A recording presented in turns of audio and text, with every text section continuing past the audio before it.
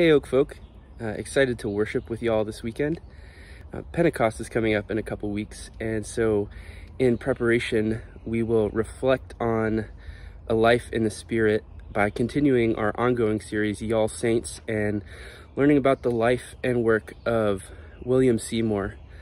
Um, Seymour uh, was the leader of the Azusa Street Revival in Los Angeles uh, in the early 1900s and he's often credited with being the founder of American Pentecostalism. And uh, I just think his life um, has some interesting lessons for us about what it means to be a people filled with the Spirit. Uh, so I'm really excited to share with y'all.